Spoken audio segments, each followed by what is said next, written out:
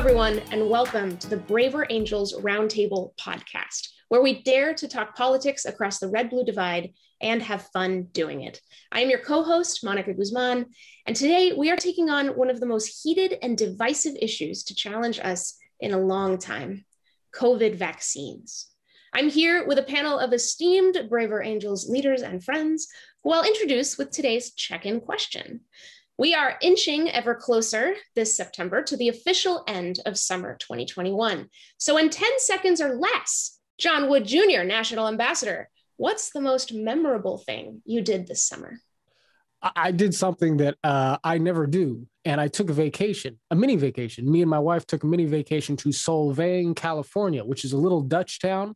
And in addition to a whole bunch of great bakeries and sausage shops and whatnot, they've got a bunch of vineyards. And so we went on a wine tasting tour, four different vineyards. I'd never done that before. It was great, but I actually don't really remember anything that happened after the second one. So, yeah.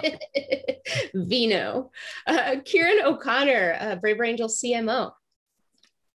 I took a wonderful trip to Mexico where I not only had the opportunity to enjoy my favorite breakfast dish, huevos rancheros, but also the opportunity to explore a different culture and remind myself that America is not the only nation in the world. There you go. It's a good refresher. Alma Cook, our music ambassador. Hello. Um, well, you guys seem to travel on vacation, uh, but I'm really not much for that. Uh, so it's the simple things for me. My favorite summer memories were probably being around the bonfire with my friends in North Dakota. Yeah, awesome. And as for me, um, digital director of Braver Angels, I was in the mountains of Colorado, smelling like the pine trees and that sort of high altitude fresh air. And it was just healing. I go every year and it's fantastic every year. So, with that, I will tee things off to Ciaran uh, to get us going on COVID vaccines. Ciaran. Thank you, Monica. Yes, today we are going to be discussing the COVID vaccine, which has become one of the most divisive topics in American life. While just over half of Americans are fully vaccinated, over 100 million Americans are not. Some are outright opposed, others remain simply hesitant. The Delta variant, which now accounts for over 99% of cases, is far more contagious than the original coronavirus variant. And while the vaccine appears to remain largely effective when it comes to protecting against severe illness and death, vaccinated Americans are still getting infected and passing along the virus. And according to public health statistics, nearly 1,900 people died from COVID yesterday alone. The vast majority of them were unvaccinated. And recently, of course, the Biden administration issued new federal vaccine requirements for as many as 100 million Americans, private sector employees, as well as healthcare workers and federal contractors. And as the vaccine issue has become more and more politicized, the stereotypes are only increasing. While some liberals may picture unvaccinated Americans as all white Trump supporters who are putting their own politics ahead of their fellow citizens' health, the reality is more complicated. Republicans are disproportionately unvaccinated, but so too are many communities of color who do not necessarily lean conservative. And indeed, people distrust the vaccine for many reasons, from personal choice to fear of potential side effects to, of course, all sorts of conspiracy theories that have sprung up over the past year and a half. Here at Braver Angels, we have a way to invite both left and right to come together to explore the strengths and weaknesses of their own positions without losing their minds or calling each other names. We call it the fishbowl. John and Alma are here as our red panelists, while Monica and I are our blue panelists. John and Alma, you are first up in the fishbowl. So Monica and I are just going to listen as you answer a couple questions about how the red side approaches the issue of vaccines. So, John, tell us first, how would you describe the quote unquote red side's position on vaccines? And what do you think there is of value in this position? Well, you know, I mean, it, there's always diversity in in you know within the red and within the blue sort of conversations but i think that generally speaking um i think that most most reds that i know are people who are not anti-vax but who are pro you know, freedom of choice let's say in terms of whether or not you want to actually make the decision to have the vaccine right? And so you know mandates on employers and and heavy-handed language from the government that says that you have to do this particular thing is something that strikes i think a lot of reds and a lot of conservatives as stepping too far into their encroaching too much into personal liberties that it may be a good idea to get the vaccine it may be a responsible health choice but at the end of the day there is the widest range of things that we do uh, including just getting up in the morning and getting in your car and driving 75 miles per hour down the freeway each morning to work. Uh, that comes with a certain amount of risk, both to yourself and to other people, and that it's up to the individual to make the decision as to what sort of risk is acceptable and what sort of risk is not. Um, you know, for their own for their own person and and their own interactions with with others. And so, you know, um, yeah, I mean, I think that that I think that that sums it up from my vantage point. But again, most Reds I know uh, are uh, are vaccinated. At least you know the ones I I communicate with, and so there's vaccine skepticism, but I wouldn't say that that is a dyed in the wool principle of the of the conservative position on this. Alma, what do you think? Sure.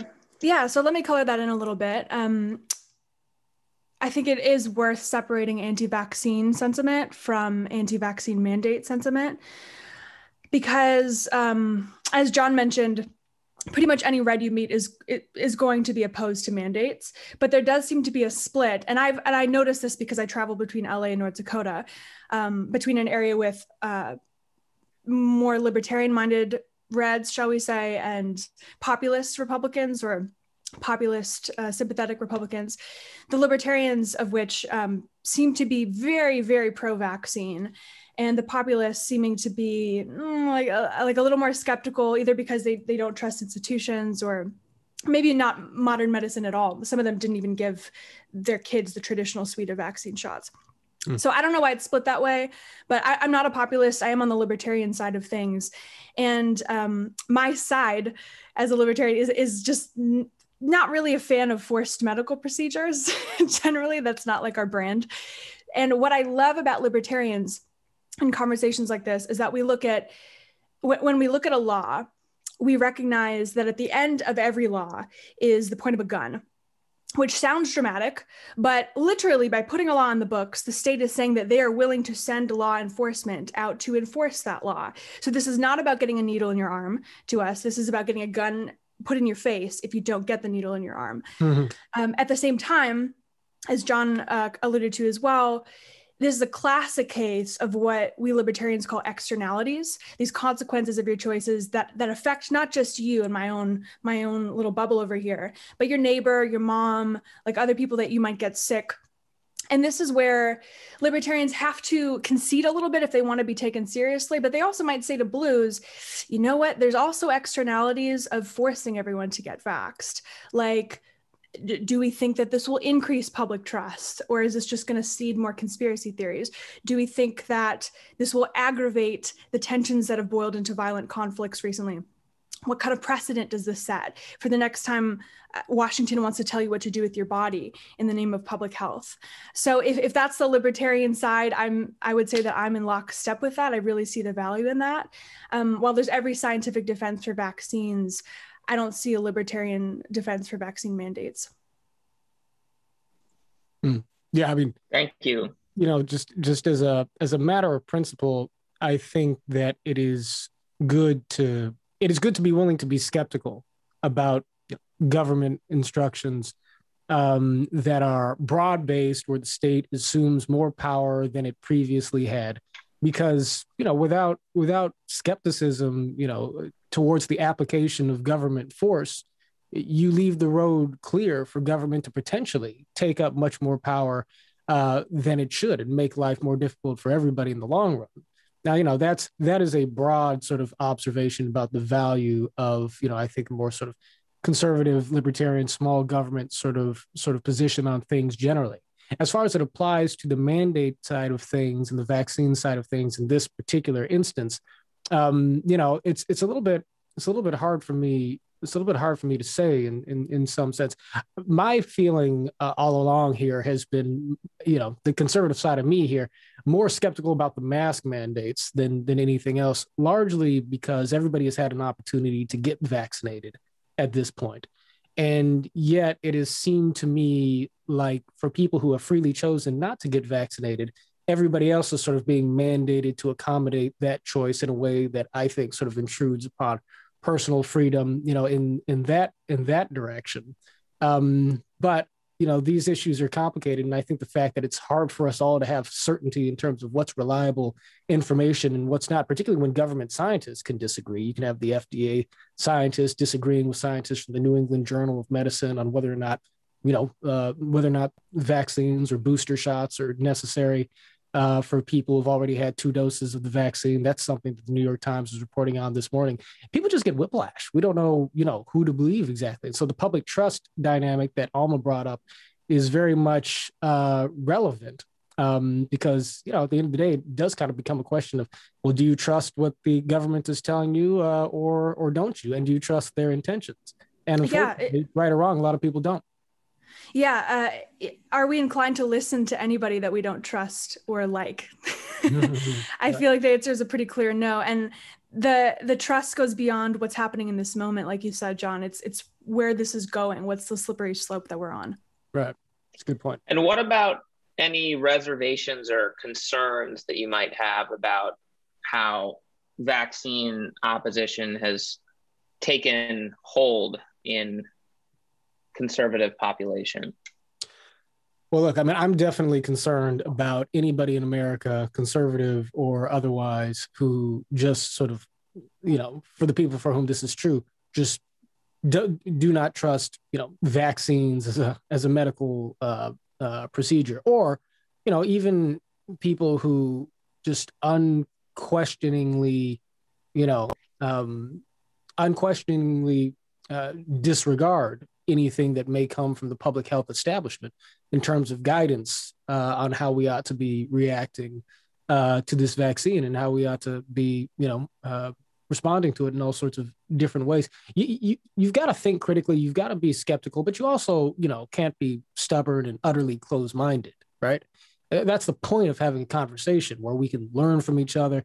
And it is the point of having institutions and, and experts that they can provide guidance that we are able to take seriously under consideration. At a certain point governments do have to make decisions. Um, and so you know i think skepticism is healthy. I think cynicism is dangerous. And uh, there can be a fine line between the two. Mm. alma what about you when it comes to any potential concerns or reservations um, so I've been thinking a lot about this, and actually, as I was exploring this before we got on the call, I pitched some of these questions to a community that I'm in online. It's actually kind of it's like a fan club for a podcast called The Fifth Column, which you should all listen to. Loosely libertarian, not mm. explicitly. Um, my friend, my friend John, shout out to John, was talking yesterday really compellingly about how libertarians seem to just flagrantly disregard the concept of duty um, duty to our neighbor, duty to our, to our families, to our colleagues. And um, I don't know, this is, I think this is because this, this, I'm going to do me, don't infringe on my liberty philosophy really only has one principle which is don't get don't get in other people's way but in doing that sometimes we can err on the side of um, well well we could choose to do no harm but we also might choose to do no good if that makes sense because mm. libertarianism liberty doesn't tell you how to do good it doesn't teach you how to love people and it's very important to me to love people i'm a christian and uh, some of the greatest libertarian thinkers were not. Ayn Rand, who is a very famous libertarian author, said, I, I think the quote was that uh, Christianity is the kindergarten of communism. and I get why she would say that.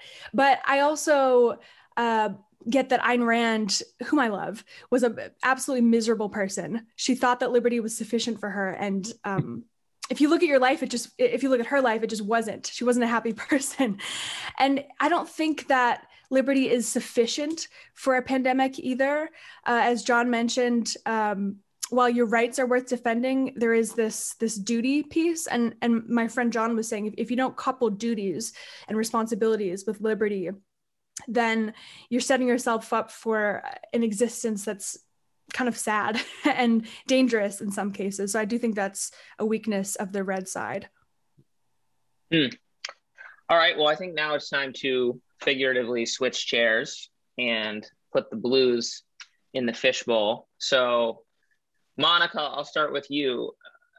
How would you see the blues approach to vaccines, and what do you see of value in that approach? Well, first, I just want to say I just want to thank our Reds, John and Alma, because I I was writing notes, which I didn't plan to do on a podcast because it was just lots of stuff I hadn't considered. Really insightful. So thank you. Um, you know, I could I could talk about a lot of things with the blue side as I see it, uh, but I'll I'll focus on one that I think has been particularly valuable through this what year year and a half of crisis and sort of unprecedented disruption of daily life and social life for the entire world, you know, let alone just America, and that is that um, it, it seems like the blue side has been quicker to support and endorse the scientific uh, establishment uh, sort of decisions that they have made pronouncements that they have made um, you know both the the the institution of scientific knowledge and decision making that is more housed in our government uh, but also the the consensus such as it is even in our university and academic system you know we have these institutions of of really incredible research. And what is obviously difficult to accept, right, is that this crisis has had its ups and downs. This, this disease, COVID, came out of nowhere seemingly. You know, it, it behaved differently. We had to scramble. And I think that it has been very, very good. Um, and it's it's just so funny because it's sort of contradictory to so many other things, but I think it's been good that the blue side has been quick to support and endorse, despite the fact that there's been plenty of missteps, lots of lack of clarity, studies that do appear to contradict each other. But we also have a lot of scientists and researchers and doctors and everyone doing the best they can and trying to get society to band together somehow to defeat this thing. And so that I think has been really valuable. And I'll I'll leave it at that for now. Hmm. Thanks, Monica. When I think about the blue side's position toward vaccine and what's of value there. I guess I first fundamentally think about just life and death. Um, I think to me, the data seems clear that the more people that get vaccinated, the fewer people are going to die. And I think that's uh, a very compelling reason why, as a society, we should encourage and seek what we to do what we can when it comes to uh, you know widespread vaccine adoption.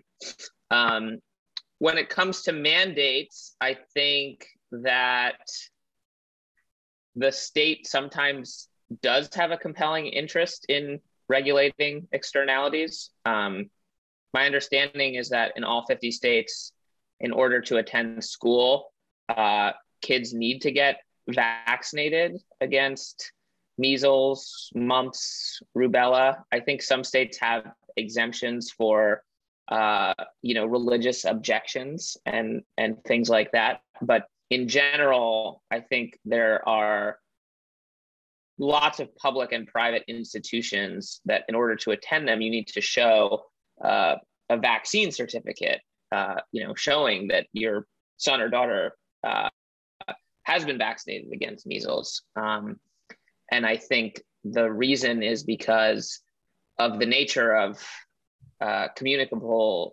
diseases, uh, the externalities. If you have uh, children attending who are unvaccinated, they can seed an outbreak, which can lead to millions of people dying. And so I definitely am sensitive to concerns about liberty and overreach. And I think there's an interesting discussion to be had there about what the federal government should do versus uh, states and localities. Um, but I do think there are instances in which public health uh, trumps personal liberty. And I think vaccines for children is a, a prime example. And I know the Supreme Court has looked at this a couple times and decided that uh, at least pre-existing uh, requirements were constitutional. It'll be interesting to see whether what the Biden administration is doing passes muster, uh, given that it is sort of a, just a executive action without input from Congress. Um, so that's going a little bit deeper into the policy weeds, but I just think uh, what's fundamentally good about you know a, a, a, lot of liberals' approach is that it's um, yeah collective action first. You're not just getting vaccinated to protect yourself, but you're getting vaccinated to uh, protect others. And regardless of what the intention of a choice to not get vaccinated is, the impact is more death and more harm. Mm. Um, Monica, what what reservations and concerns do you have about your position or the position of you and fellow blues? Yeah, this is where I'm this is where sort of my heart hurts, folks. So I'll I'll try to be I'll try to be candid but also kind of forceful about this because I feel very strongly about it. For me, it is basically part of the blue side's position that those who are vaccine hesitant are beneath contempt. And you see that with the stereotypes, you see that with a sort of dehumanizing, demeaning superiority uh, with which many influential blues talk about this uh, and talk about folks who are vaccine hesitant. I find that completely abhorrent and unacceptable and unproductive uh, and wrong, just frankly. I think it's terrible. I think it's sort of the dark side of feeling so self-assured feeling like data is on our side you know data is on the blue side science is on the blue side and this this way of thinking about things makes it i think far too easy to then say we're the good guys they're the bad guys and and that's awful um, and I, I think one of the things that maybe i see in that that makes me most disturbed is um, I, I believe that there is in the blue side too much of an assumption that those who are vaccine hesitant for any of a number of reasons, a number, a huge range of reasons, that they don't care about taking care of society, that they don't want to do good, that they are selfish, that they don't have this value of community, that they don't value public health. And I just think, again, that is such a narrow minded way of looking at I, I think of it as values blind.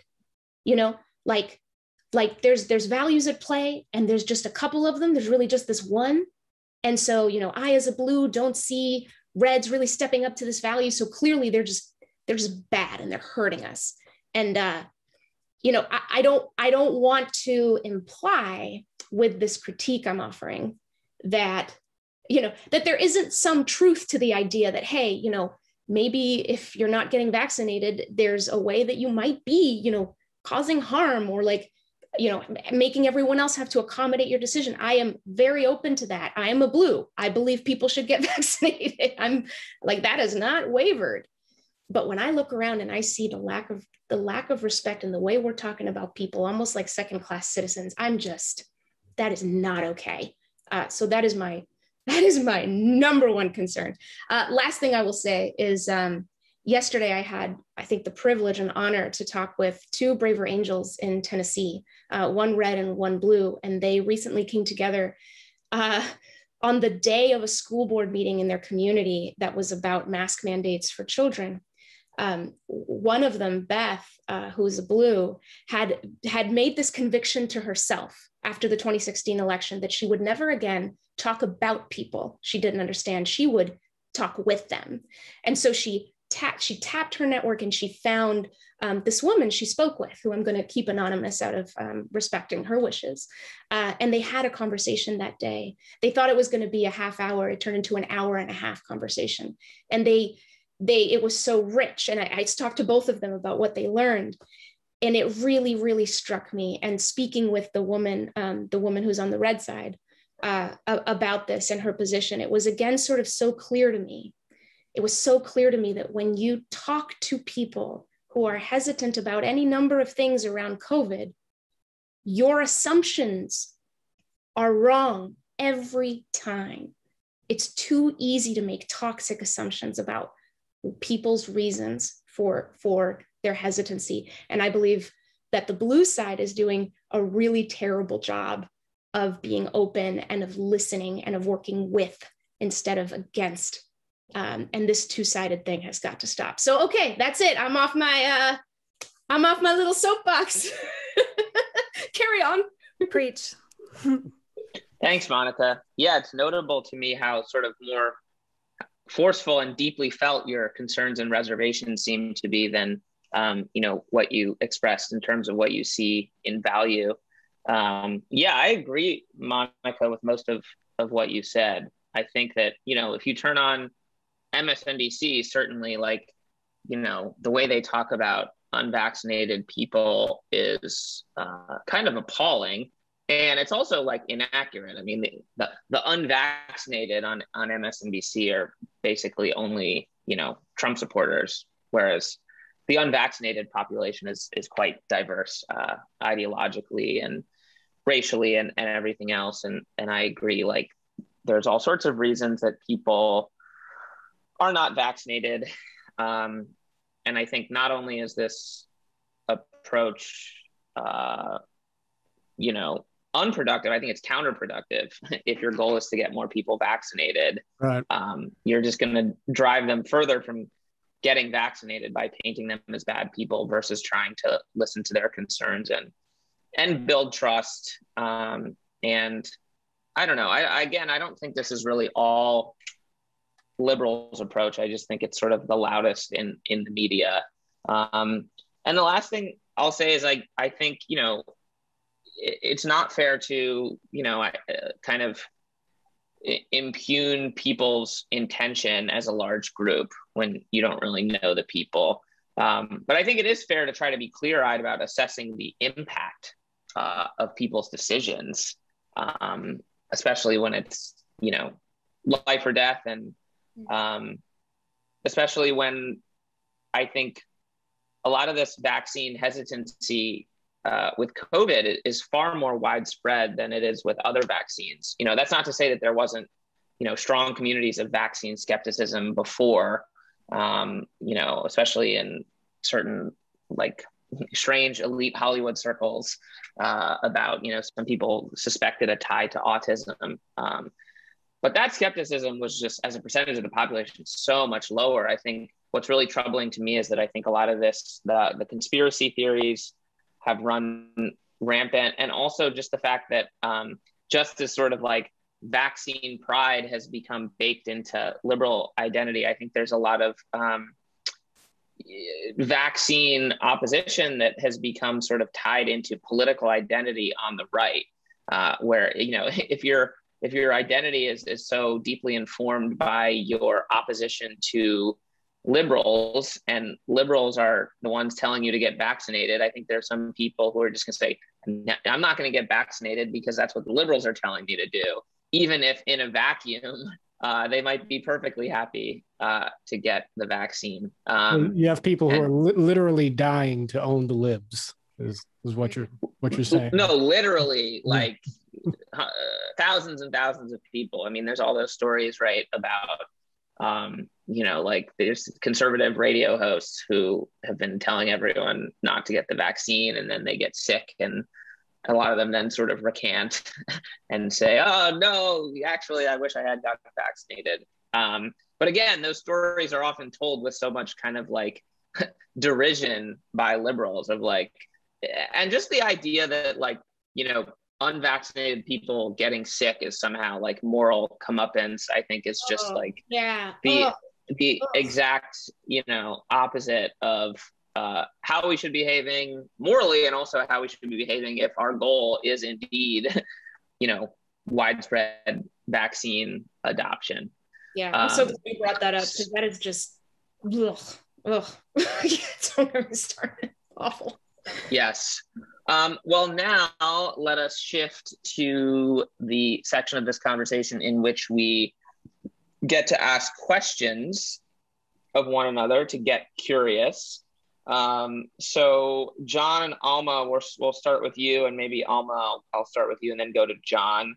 uh, what questions might you have for me and Monica um, based on what you heard over the past, uh, you know, 10 minutes? Um, Oh. well, oh, Oh, Alma, go ahead. I was going to start with, You with said Alma, let's yeah. start with Alma. Your Oh, name yeah, is yeah. Let's Alma. go to alphabetic alphabetical uh, order. That's right. Go for it. yes um, no worries um, well Ciaran it, it's interesting that you mentioned this um, mentality that some reds have of just like well if the blues told me to do it i'm not going to do it arms crossed which i actually kind of relate to as a contrarian not so much just blues telling me to do anything but um, people telling me to do, to do anything in life i'm not good at taking orders uh, but it, it made me think about how uh, Kamala Harris actually, what it would have been about a year ago in the Democratic debates, she said that she wouldn't take the vaccine if it were Trump recommending it. And to me, this exposes, excavates a little bit more how much the issue is really just about public trust. So I wonder, it, it made me wonder how you guys would feel if Trump won in 2024 and mm-hmm. started mandating a certain behavior or mandating even like an extension of the existing public safety measures that we have, some medical procedure to protect people from any number of things. How would you be digesting this if it weren't a blue in office? Yeah, I mean, I completely agree. It's a question of trust. I mean, you know, if Trump was out there telling me to take something, I, I would be a lot more inherently dubious, uh, you know, based on his, you know, past behavior and voluminous history of, of making false statements for political gain than I would be, you know, trusting a statement by uh, Pfizer and Moderna that's been made after, you know, rigorous clinical double blind controlled studies. Um, so I think it is a question of trust and also a question of like, what are you basing that trust on? Is it based on your like uh, emotional connection with a politician or is it based on your reading uh, or understanding of the scientific consensus as best you can? And that speaks to what Monica mentioned. Um, you know, a lot of people just really don't trust the medical establishment just as much as they don't trust the, the government. And there's certainly a history of uh, the medical establishment leading people astray. Uh, but there's also a question of uh, a history of just incredible uh, medical advances that have saved millions of lives. And I think that's what you're seeing now with the COVID vaccine. Sure. Yeah, I agree with that. And it's it's interesting because my dad is actually a statistician for clinical trials. So clinical trials are his thing. He's one of the top guys at this in the whole world. And it's been interesting to get his perspective. He is very deeply blue himself.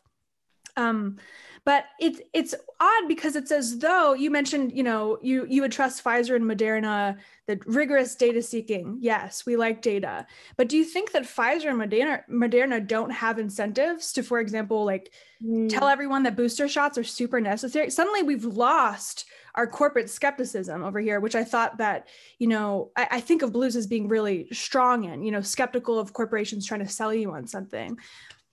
Let me, um, if I can go back and answer your question, Alma, because it's a really good question. Oh, Uh, please do. Where where you said, yeah, if if Trump were elected in 2024 and he mandated something, how would you feel? And it's it's a very insightful question. My answer is, I would be loads more skeptical than if a van, if a mandate came down during a blue administration. Um, and you know, to be as accurate as I can as I answer this question uh, and as candid as I can, the bias that I have toward Trump, right? The things that I concluded based on watching his administration is I, I attached his administration to things like, you know, incompetence in my head, to a lack of of caring for the country. He only cared for his side. These are my biases, right? I'm being I'm being forthright about that. But but as a result of those biases, a mandate that would come from his administration would immediately go in my head to the hell no bucket. And then I would need to do the kind of research that takes me from the hell no to the okay. And the level of research that I would need to do to go from that deep in the in the red, you know, but in the sort of financial way, like to go from that deep over here all the way to where I'm okay would be a lot of research. But a mandate that's coming down in Biden administration, this is all about trust, right? Biden, my bias toward Biden is, well, he's, you know, he he's not in it for himself. He's very self effacing. He's more humble. I trust that he's more competent because he's been around longer. He holds my values at heart. So, how much research would I need to get me into the, oh, I'm okay with your mandate, Biden? Very little. Very little. Right? Yeah. And the only thing I would I would add is I, I completely agree. And I just think my impression is that over the last 10 to 15 years, the Republican Party has just become a lot more anti science uh, as a matter of political expedience. Um, sort of, there's this uh, kind of anti intellectualism that I think has run through the Republican Party uh, over the past 15 years. And I think that's manifested in uh, trying to castigate uh, scientists as like authoritarians um, in some ways. And I think you've seen that with climate change in particular, um, not just a questioning of the science, but sort of a an implication that uh, scientists are really working for Democrats and they're putting their conclusions first and then trying to find data uh, to back it up. And so I think there's also like, uh, what is your fundamental relationship to uh, science as a notion, right? The experimental method, um, and then also science as it's practiced in a political context, because obviously scientists have their own biases uh, and they want, you know, uh, vaccines to work out. Um, but I think your question, Alma, about the corporate skepticism is, is really well taken because I think a lot of times it's easy for Democrats to be skeptical of corporate power, uh, but when the corporate power is the one delivering on their interests, it's uh, a lot harder to be skeptical. Mm-hmm. Um, John, uh, what is your question, your spicy question for me and Monica?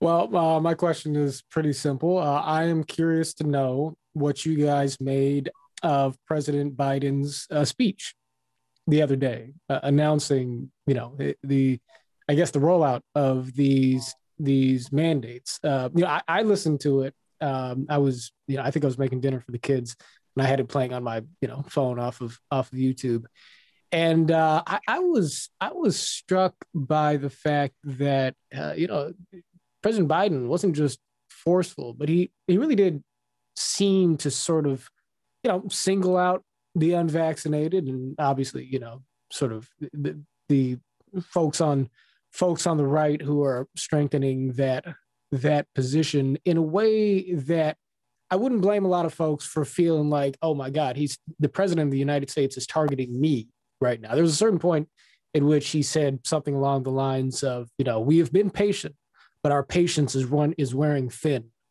and it's sort of like the type of thing that your your dad or your grandpa says before he takes his belt off and you know, comes, comes, at you with it right? And uh, you know so look i'm not coming out of the gate here trying to slam joe biden because you can easily make the case that you know but yeah but look you've got lives on the line so the president needs to be firm forceful et cetera et cetera. But it was a remarkable speech i thought in terms of seeming to set a dividing line um, e- even if for for the best reasons perhaps. Um, so I'm just curious to know how you guys responded to it. Yeah, I just pulled up the speech. There's a part where he says, you know, there's nearly 80 million Americans not vaccinated in a country as large as ours that's 25% minority. That 25% can cause a lot of damage, and they are. That line, uh, they cause the damage, and they are. They are causing the damage. It's, you know, anytime that that trust becomes an issue in society, uh, we kind of have to start talking about what truth really is. What is truth, right? And so, in that sentence is a very interesting set of assumptions.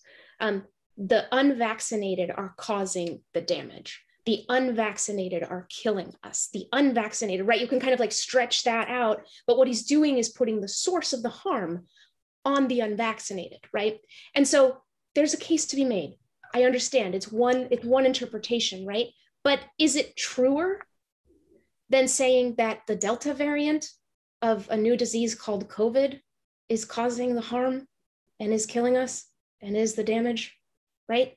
So, so when you when you take that source of harm and you put it on 80 million Americans, what are you what are you doing? so so you heard you heard my uh, my fairly forceful and heartfelt kind of a concern with my side it, it absolutely stretches to this speech. I, I try to understand the impatience. The impatience is warranted, you know, because it's true. I, I believe this to be true. If we were all vaccinated, fewer of us would die. There's no question. If we were all vaccinated, fewer lives would be lost, you guys. There's no question, you know? And so, but it's just not as simple as saying, therefore, you know, A equals A, B equals B, therefore the unvaccinated are killing us. It's not that simple. I refuse to take that logical leap. And so I, I believe personally that it was too much uh, for Biden to be quite so to to put the blame quite that way even though i understand the impatience because his job you know i'd like to think that our leaders jobs are to protect us in some way but but you know but it, it but protecting us also means making sure we can live our lives and it's just not easy hmm. so Ciaran, yeah I, I agree. I mean, I sort of felt like he was condemning, uh, you know, millions of Americans, and I, I, I seem to remember I thought there was like a part where he was like, "Grow up." He said, "Grow up" to people who are unvaccinated, uh, which like I guess in a way is like very Biden-esque, like when he tries to be the tough guy, but is like very condescending because you know it's basically accusing them of of being uh, children, infantilizing them. Uh, I thought it was a very political speech, uh, kind of cynical in some respects. I mean, I'm not sure that like shaming people is going to get them to take the vaccine. I think it might harden opposition.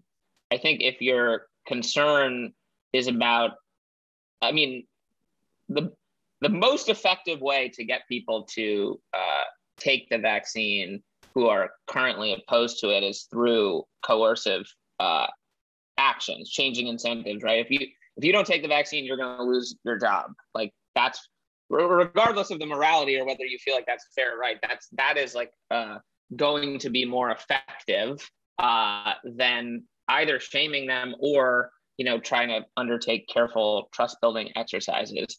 Mm-hmm. Um, but I think Biden also, I mean, I think he was like, um, I think Democrats see the vaccine as like a winning issue, right? I mean, I think that's how they like want to run in in 2022. They want to paint Republican candidates as Trump supporters and anti-vaxxers because the majority of Americans are pro-vaccine, not anti-vaccine. So I think Biden was like trying to shift attention away from Afghanistan um, and and put it back on like you know a winning issue for him. Um, and uh, yeah, it's just unfortunate because it sort of cuts against his whole brand, which is like come together and be uh, empathetic. And it did sort of have that like we've tried being nice, you know, and now now it's time to uh, drop the hammer. Uh, and I think a lot of Democrats like that. I think a lot of Democrats were like, finally, you know, like I've had enough. This is what I want to see out of the, the president. I want to see mandates and I want to see him, you know, call, call things out the way they are. Um, and I certainly understand that impulse, but I think certainly from a, a trust building perspective, it's, you know, it, it kind of just plays into uh, what conservatives have been saying all along, which is that, uh, you know, liberals don't respect their choices and are ultimately gonna force things down their throat if they don't fall in line.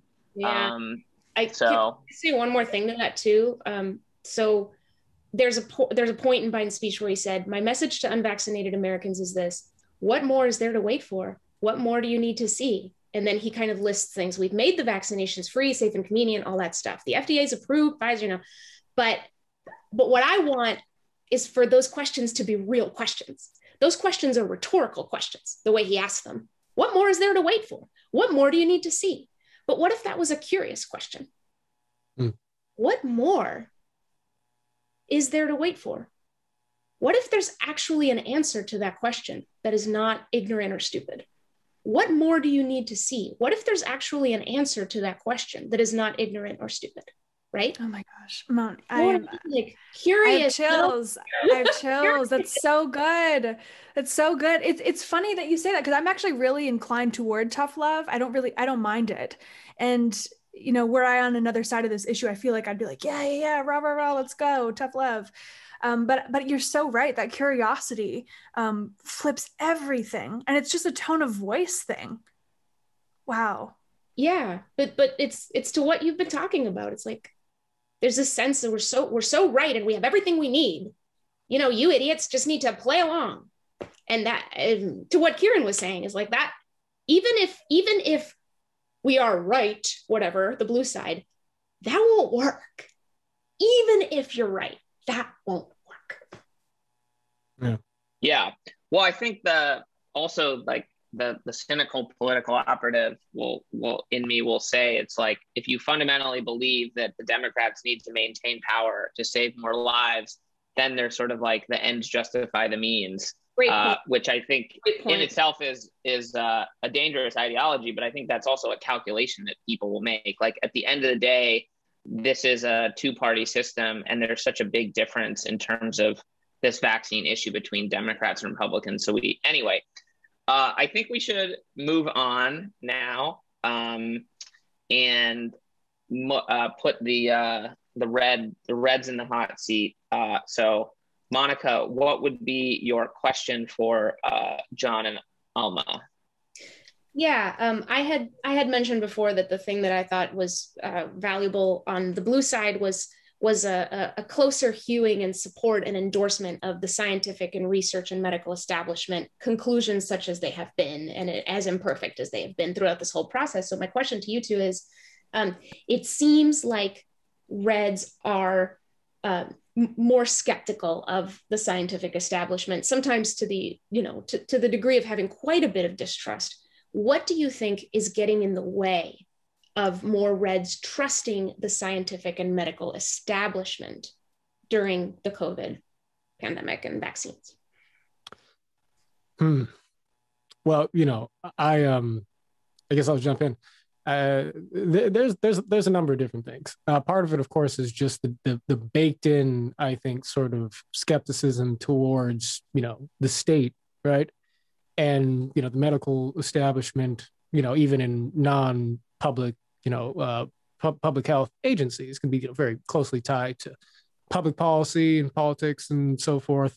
And um, you know, th- so there's there's kind of a I think a little bit of a built-in disposition to be skeptical, but then and of course that is augmented by you know polarization media industry that is a serious force on the right so on and so forth but then there's the what appears to a lot of folks is the real politicization of the culture of public health uh, in a way to where you know it, it makes people distrust the motivation behind a lot of what comes out of it. So, so take for instance, for instance, during the uh, summer of protests in the aftermath of George George Floyd, we were already in the lockdown. We were already being told that you know protests in the streets were something that you know for for conservatives who were po- protesting against the lockdown itself and and mask mandates and so forth a risk to public health. And then you know shortly thereafter you had massive protests for racial justice across the country. And you might have expected there to have been a similar reaction from the media and from the public health establishment.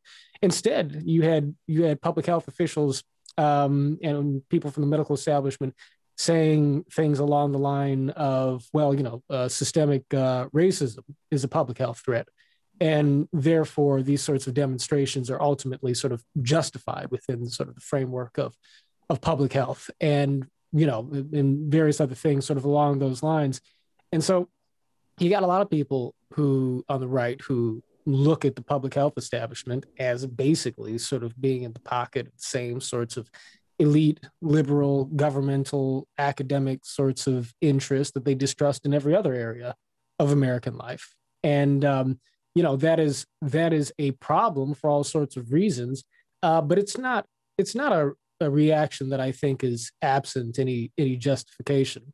So um, yeah i mean hopefully that answers some of the question uh, I wish I had better things to add to that. I feel like you summed that up really well. I've been puzzling over this, Monica, because um, my my group of friends in North Dakota over the last two years has shifted um, due to people moving away, just just logistical things. And my my group of friends a year ago was more the engineer types, the the science super. I have a friend up there. Um, we call him the Frackinator. That's the name of his company. I work in oil and gas for people who don't know.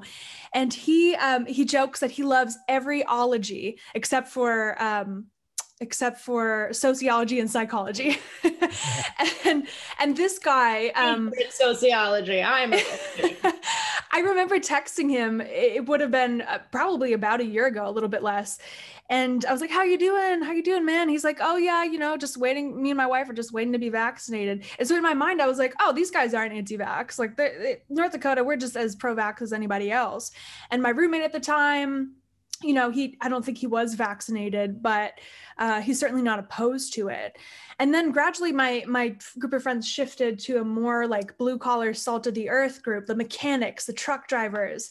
And i found sentiments that i had never seen in the state of north dakota in my entire time working in oil and gas. And it was so interesting to me. And i don't have an answer. I don't know what it is that makes you know bob the the the mechanic think that vaccines cause autism. You have kids who literally or excuse me you have people who literally have autistic kids who attribute the the uh, the their child's genetic what is it um uh, their their child's autism to their immunization shots when they were a child and i don't know where that comes from i certainly don't know how to argue it because um, if you are that skeptical you've done a lot more research than the person who just accepts the consensus.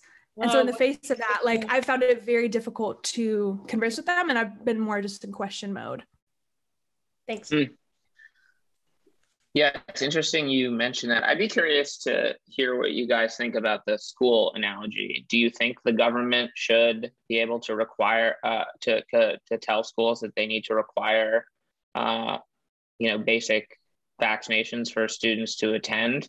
Um, and then, if so, like, is there a difference between that and COVID mandates? That's that's really interesting, Ciaran. I thought that was a really compelling point. Um, do you guys know the concept of Lindy? Are you familiar with what Lindy means? No. Okay, it's kind of a niche, uh, like a Twitter subculture. Lindy refers to something that has been tested with time. So, um, for example, email is more Lindy than Instagram is and wine is more Lindy than whatever hipster Celsius water you're drinking from the store. And uh, and it's it's not a heuristic for everything and every decision you should make in life but it does lend itself to trust because if something has been tested through time you do trust it more. So i think there is a perception on the right that these traditional vaccines well they've been time tested. And so it's okay that we, we use the government forcefully in this in this way and mandate this. Mm-hmm. um, whereas these new vaccines we just don't trust them. We haven't seen them pan out. There's a lot of uh, uh, fear about fertility in women and and uh, reproductive health in men as well and it's true we don't we don't have data on these vaccines that go beyond the last year. We just don't. Um, that doesn't mean the data isn't compelling. My statistician father feels very strongly that yeah, no, statistically this this looks good. We're in the clear, but um, but I see how there how, how you could tease out a material difference. What do you think, John?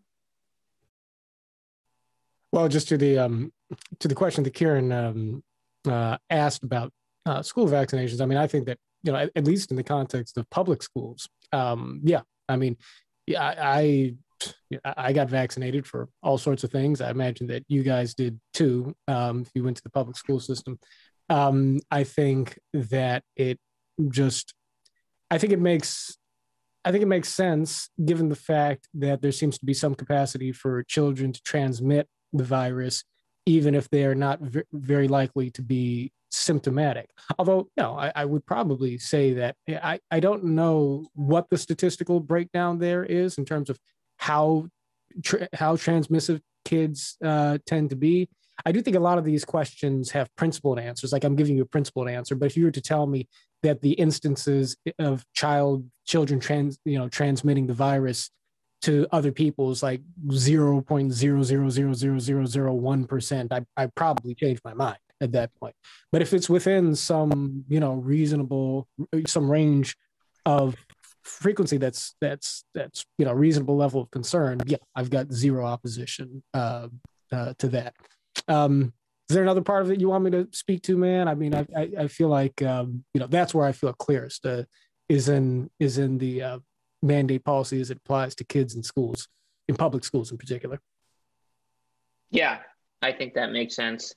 Um, well, I think let's just close out with maybe a 30 second or less takeaway uh, from this discussion. I thought it was very rich, and I certainly learned something. I love the the concept of of Lindy. I mean, I think certain ideas stick around because uh, they stand the test of time. I also think there are certain ideas that have been traditional that have stood the test of time that need to be reevaluated in light of uh, you know recent developments. So yeah, 30 second takeaway. Let's go Mani, Alma, John. Yeah, I mean, this was an extremely rich discussion. Um, I think my my big my biggest takeaway is my favorite takeaway with any of these, which is something that I thought was simpler has become even more complicated, uh, and I usually celebrate that. So, thank you for complicating my view of this. Mm. Alma. I am so impressed at the empathy that I see in the two of you. And I wish I could just extrapolate that across the entire American population, give them a little bit of dose of, of whatever you're on, because I, I felt really seen. Um, not that I was surprised, but I, I, was really impressed by your empathetic imaginations.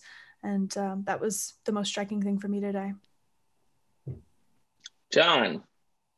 Yeah, well, I mean, same goes. Same goes for me. Look, I just, you know, I, obviously, I love the way we have these conversations and it's you know it's materially significant ultimately i mean we have to be able to communicate across the the the gulf of of distrust in america in a way that you know gives us the opportunity to not just you know push each other to comply with what you know even one can argue are sensible policies for public health or other things but to get people to to actually feel like they too are represented by the government that we have, by the political culture, the political society that we have, and that their own fellow citizens have their best interests at heart. If we had had that sort of a cultural landscape to begin with, it's very possible that we would have pushed down, you know, we would have we would have uh, gotten a handle on the pandemic uh, far earlier in the crisis. But because we distrust each other so much, you know, and then of course when it started, you had a lot of blues distrusting the Trump administration, distrusting some of the same public health officials who they are now supportive of currently under the context of the Biden administration. I, you know, uh, Joy Reid is, I guess, an example of that. She had this Twitter beef with Nicki Minaj, where you know she was coming down on uh, Nicki Minaj for uh, you know hip hop artist for for uh, exp- for sort of expressing serious uh, uh, mandate uh, skepticism and so forth only to be sort of retweeted from something that uh, herself, Joy-Ann had had tweeted out, you know, a year prior during the Trump administration, where she talked about not trusting anything that comes from the Trump administration, not trusting anything necessarily that comes from the FDA, right? Uh, and so, you know, the the landscape uh, shifts depending on who's in office, but it's the distrust that keeps us from really being able to support one another as a people and protect each other. And so, the way we communicate has got to be a huge part of the solution uh, to that crisis. And you know, the way you guys do it, Monica, uh, I'm fully ready to change the Constitution so you can run for president one day, my friend. we need that. We need that curiosity that you bring so well to these conversations, uh, wherever we can get it. Raging about it. There you go. That's my take. Yeah, I mean, I share all of y'all's takeaways, and I think kind of jumping off of what John said, people are so conditioned to think about communication, political communication, as a way to uh, serve their agenda. And people have been fooled into thinking that the best way to serve their agenda is to demonize and dominate. Um, but really, if you're playing the long game, um, people probably should be doing more of what we're doing. And in the long run, that might actually, I think, uh, breed breed more progress and less harm. So with that, why don't we move to the last section of this conversation, which is called Building a House United. And I will turn things over to Monica. And mm. wait, I just want to say one thing about Nicki Minaj because I really enjoyed seeing uh, Tucker Carlson quote Nicki Minaj's tweets about how she'd heard from her cousin cousin in Trinidad and Tobago that her cousin's friend's testicles uh, had gotten swollen by the vaccine. Um, it was so and good. I, uh, you know, we've all been there, so we can't discount that. so, uh, uh, anyway, on that note, why don't I turn things over to Monica? Quite the segue, Ciaran. Ciaran is a master. Indeed. Um, all right. Well, uh, we are now at the part of the Roundtable podcast where we put one of us, uh, Roundtable members, in a bit of a hot seat and dig into the challenges and opportunities of this daily work of trying to build a house united in a very polarized time, as we just talked about. So, John Wood Jr., National Ambassador of Braver Angels, uh, just an incredible voice in this whole movement. You're working on a big new project, a new podcast called The John Wood Jr. Show. So, for the next you know bit um, tell us tell us about it tell us about the the challenges and the opportunities as you work on this project and then we'll take a few minutes just to ask you a couple of questions and dig in Yo, thank you very much for that. Okay, so yes, we are launching the John Wood Jr. show, um, aiming for the beginning of next month. As you know, Monty, uh, one of the huge issues uh, in launching a new podcast while working for Braver Angels is that you're always working on seven or eight other things, right? Uh, but uh, that is uh, that is coming. Very excited about it. Uh, we've got incredible opening guests: Dennis Prager, Karen Hunter, Dave Rubin.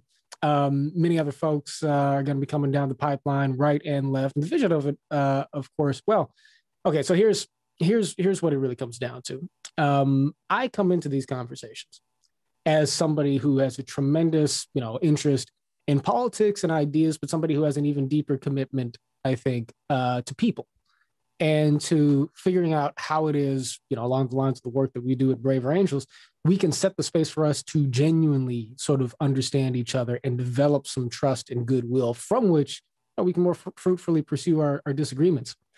And um, you know, one of the things I'm learning, and well, I guess have learned over the course of my, you know, uh, stances, something of a something of a public, you know, figure and and and so forth, is that you know it, there are a lot of really smart people out in the world. I mean, there really are. I see smart people, you know, on on Twitter all day long, and I work with, you know, obviously brilliant folks like yourselves and all sorts of other people. I think that I'm a reasonably smart guy. For me, at least, it is impossible to keep up with all of the information that is out there. It is impossible to keep track of all of the different conversations that are running. It is impossible to keep up with all of the things that are relevant, right, to American politics and American public and democratic life. And yet, usually when you put yourself out there in the public eye, you know, there's a degree to which at least you know people sort of expect you to be able to kind of throw an opinion out there on any given subject, and we often do, right? Uh, and sometimes the way we make that easy on ourselves is by couching our opinions in terms of, you know, sort of who they're who they're they're aimed at. I guess. Like let me let me give an opinion on on healthcare, but let me you know punctuate it with the observation that Donald Trump is moron or whatnot. Uh, and you know whether I'm studied in the issue or not, you know that's going to allow me to keep my audience and so forth. That's what I that's what I mean by that.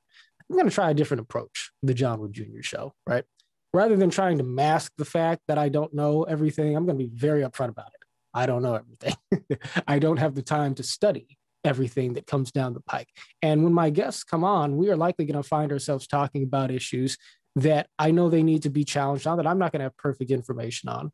But what I can do, first of all, is reason. I can try and figure out, okay, what are you basing your opinions on? Let me see if I can get my guests uh, to be clear in terms of you know their sources, the foundations of their reasoning, and so forth. And two, in trying to hold people to sort of that that account, uh, can I you know can I can I can I hold people's feet to the fire in a loving way, right? While still expressing that curiosity and so forth.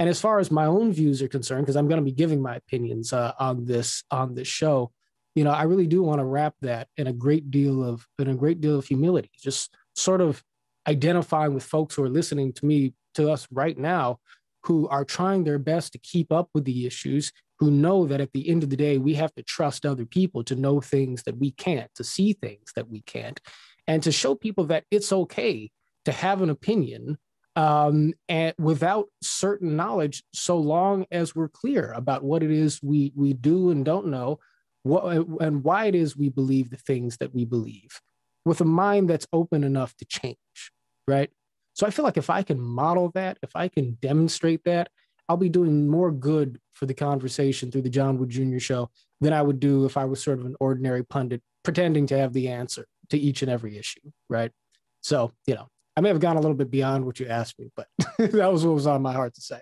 No, that's great. That's great. Um, I want to turn it to Alma. Do you have a question for John about his vision, about the podcast? You know, any curiosity you have about how to how to how to make this vision manifest? Oh, I'm so excited for this show. I guess I mean the only thing that comes to mind for me is who's your dream guest? Who are we going to see on the show? Right. Well, I named uh, I named a few people. Uh, there are some folks who I, you know, if anybody wants to start lobbying uh, these people, you know, on social media or elsewhere, I'll go down. I'll, I'll just go down a list. I love for. I'll folks, be your lobbyist. thank you, Alma. I would love for you and everybody else to to call out Jordan Peterson. I would love to have him mm. on the John Wood Jr. show. Uh, Cornel West is somebody who I would love to have uh, a deep conversation with uh, about, you know, all sorts of all sorts of issues and the kind of the spiritual health of our of our democracy. That'd be um, amazing, Cornel. Do it, do it. Okay, good, Cornel. Come on, come on, come on, man. Let's let's jump on the mic. Uh, Sam Harris would be a great person to uh, to, to have on. Uh, ben Shapiro would be great to would be great to get to him. Marc Lamont Hill, a big fan of the conversations that he's been having. Would love to get him uh, on the uh, on the mic. Um, all sorts of folks we would love to uh, we would love to talk to. So um, yeah, those are a couple. So in the interest Barack of Obama. Obama, yeah. oh yeah. Oh man. That'd be amazing. so Ciaran, want to ask uh, one more question, then we'll take us to checkout. Sure. Uh, any challenges you anticipate, John, in running and succeeding in this venture? Ah, well, uh, yeah, sure. Just uh, you know, making time to do this along with all the other things uh, you know the four of us got to do right? Uh, between building up the uh, the workshops and you know expanding our our membership interacting with press and media ciaran you've, you've led us so so adeptly in in that department getting the music out there more and more. But i think the john wood jr show can positively interact with all of that. Braver angels is a huge battleship y'all. It is a cruiser uh, it is a it is a cruiser. Just think of the John Wood Jr as just one, you know, one little fighter jet, you know, on the on the top of the ship that's going to zoom out there and and you know get a good get a good overview of the waters that we want to cross into. So, um, yeah, yo, I'm excited about it. Mm. Braver flotilla. There you go. Yes. Thanks for tying that up. I love it. All right, thanks, John. We're all excited uh, and just can't can't wait uh, to support you and get this thing off the ground. So, Alma, do you want to take us through our checkout question? Close us out. All right. Thanks, Moni. Um, here at Braver Angels, we like to say goodbye at meetings the same way we say hello with a question. So, I'm going to start with Ciaran. Ciaran, in 30 seconds or less, what is one silver lining from COVID, either for you or for society? Yeah, well, I guess I'll be a little cliche and and say gratitude.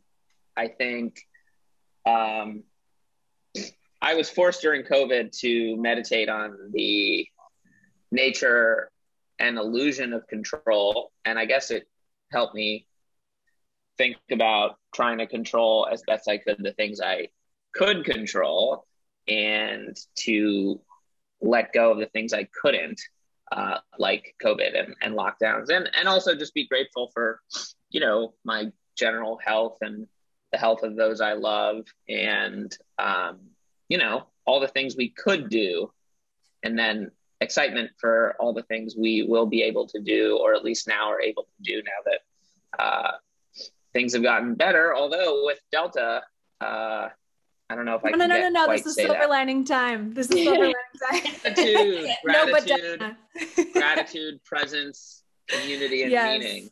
Yes, amen, amen, brother. Uh, Moni, how about you? I'll give I'll give a personal one. Um, in the early days of COVID, you know, a lot of folks found themselves with with time at home, not really knowing how to fill it. My entire life, I have been an absolute, uh, just abysmal cook. I just no and no and no. And in fact, fun fact, I was going to major in biology in college, but then I broke a test tube in Bio 105 because I'm so clumsy. Ingredients, uh, mixing things with the right amounts, just completely worthless until COVID. I I was in the kitchen. I I sat and stared at the cookbooks. I figured it out, you guys.